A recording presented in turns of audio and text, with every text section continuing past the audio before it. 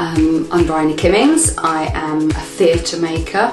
Um, I also write films, TV. I'm an activist, and I'm also the mum to a disabled boy.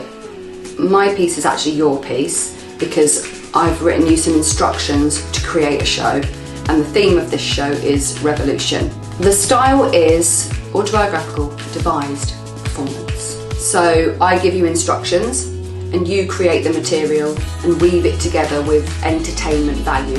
My piece is for 13 to 16 year olds or older. It's for anybody. I don't believe that you need to be trained in anything to make performance. Everyone's story is valid. But if you're interested in having your voice heard, and you've got you feel like you've got something to say and you want to rage about something, you need to pick mine because all my work is pure anger and also finding resolutions to when you feel bad.